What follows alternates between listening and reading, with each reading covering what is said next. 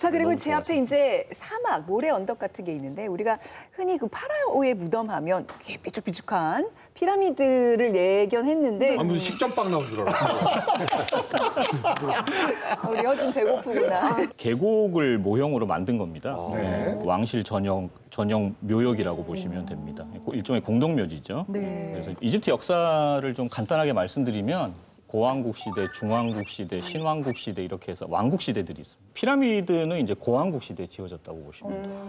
고왕국 시대가 한 기원전 2,500년경. 그때 이제 피라미드가 지어졌는데 문제가 뭐냐면 피라미드는 도굴꾼들한테는 아 여기 무- 그 보물들이 있으니까 가져가세요 하고 아, 똑같거든요. 그러네. 너무 눈에 띄는군요. 그렇죠. 예. 원래 무덤 만든 사람들이 도구를 하기 때문에 예, 그게 가장 먼저 무덤 만들 때마다 탁 도구를 대고 교수님한테 진짜 죄송한 얘기인데 어떻게 보면 허가받은 도굴꾼이신 거예요? 투탕카멘의 입장에서는 누구든 누구가 됐든 내 묘지에 들어오는 거지. 그 의사도 칼로 사람 배를 가를 수 있고 예, 강도도 가를 수 있지만은 하늘과 땅 차이가 아닐까요? 그렇죠, 그렇죠. 예. 네, 죄송합니다. 피라미드 이후에 네. 예, 사람들이 이제 좀 도굴이 안 되는 방법으로 어, 왕묘를 만들어 보자. 그래서 마치 우리가 지하철 공사하는 것처럼 네. 계속해서 이렇게 터널을 파내려 가요. 그 경사로도 한 두 번 정도 나오게 네. 파내려 가서 처음에는 입구를 만들다가 이제 이것도 도굴이 위험이 있으니까 아예 입구까지 이제 막아버리고 입구가 어디인지 모르게. 그러게요. 예, 예. 전혀 눈에 안 띄네요. 네. 그렇게 해야지 이제 도굴이 이제 방지되니까 신왕국 시대 초기부터 후대 왕들까지 전부 다 이 왕가의 계곡에 예, 묻히게 됩니다. 와, 그럼 여기에 그 경주에 왕릉이 모여 있는 것처럼 여기도 다 모여 있는 거네요. 음, 그렇죠. 이제 투트모세 1세, 네. 그다음 투트모세 2세, 그다음 하첵수트.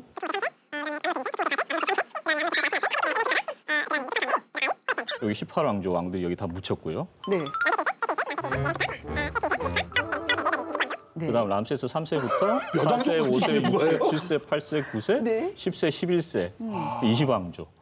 이렇게 18, 19, 20왕조의 왕들이 다 여기에 묻힌 거예요. 아니 아무리 아무리 교수님이지만 태종태세문단처럼 쫙 요게 몇 퍼센트나 돼요? 이집트 역사에? 음, 전체 이집트 왕 중에 한 30%. 아직도 70%가 남아 있는데. 그 남아 있는 거예요? 이집트 문명이 처음 시작된 게 기원전 한 3,100년경이고 종원을 고한 때가 기원전 30년, 그러니까 한 3,000년 정도 역사가 되죠. 예. 아이, 근데 지금 공부하기 너무 그러니까 힘들겠다. 벌써 얘기 듣는 것만으로 머리 아프지 않아요? 네. 학생들이 이거 다 어떻게 공부를 한대요, 이집트에서는?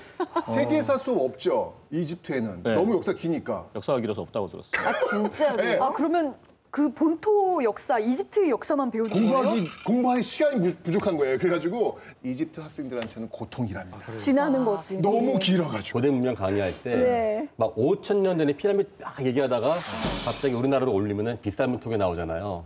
그래서 선생님 네. 우리야 우리나라도 문명입니까? 이집트랑 보면은 아무것도 아닌 것 같은데 하면 어. 아 그러면 자네 토기를 공부하겠나 왕조 이름을 외우겠나? 네 토기를 공부하겠습니다. 케일에 진짜 압도당하는군요. 아니, 근데 이제 막 여기서 많은 분들이 아, 이집트 역사, 어, 나 그러면 아, 나 싫어. 막. 어, 나 양호실 가고 싶어졌어요.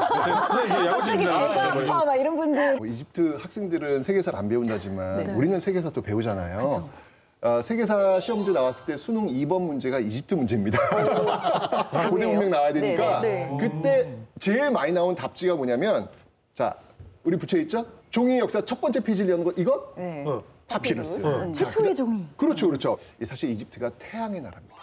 태양을 굉장히 숭상하거든요. 네. 오늘 몇월 며칠 딱 할 때 우리가 쓰는 게 양력이잖아요. 양력. 네, 네. 바로 1년 365일 태양력이 또 이집트에서 출발을 하고 심지어는 1, 2, 3, 4, 5, 6, 7, 8, 9, 10, 10진법 또 이집트에서. 일성이 같이 하고 있는 네. 그 그러니까요. 유산을 우리가 다 물려받아서 쓰고 있는 거였네요. 어, 그럼요. 예.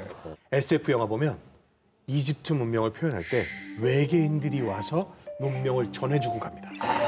그 이게 너무 봤어. 위대하고 그렇지. 신비로우니까요. 이런 것들이 이제 알려지게 되면서 정말 다들 야 이거 매력적인데 라고 생각들을 많이 했을 거 아니에요. 근데 그 중에서도 가장 매력을 느꼈던 지역이 어디였냐면 유럽이에요. 유럽 사람들은 거의 열광이었어요. 왜 그랬을까? 이유가 있어요. 두 가지 이유였는데 네. 첫 번째 이유는 사실 종교적 이유가 있었어요. 종교적이요? 익숙함이에요. 구약 성서에 출애굽기라는 게 출애굽기 있어요. 있죠. 여기 등장하는 유명한 사람이 모세. 모세. 예. 네, 십계명, 네. 십계명. 예, 맞아요. 이 모세가. 이집트에서 태어났잖아요. 네. 거기서 이제 출애굽이에요. 애굽이 어디냐면 이집트를 얘기하는 거거든요. 두 번째 이유. 실질적으로 저는 여기에 더 표를 던집니다. 뭔가요? 뭘까요? 유럽인들. 알겠다. 점. 그렇죠. 돈입니다. 아니, 시계를 보면 그러니까 이 사실은 후추 육두구, 금 이런 것들을 목에다 막 걸고 다니면서 냄새 풍기고 다니고 막 자랑했, 과시. 과시했다 막 이렇게 얘기했잖아요. 마찬가지로 이집트 유물 집 앞에 하나 딱 있으면 야 이 집은 막. 있는 집인가 보다. 과시하려고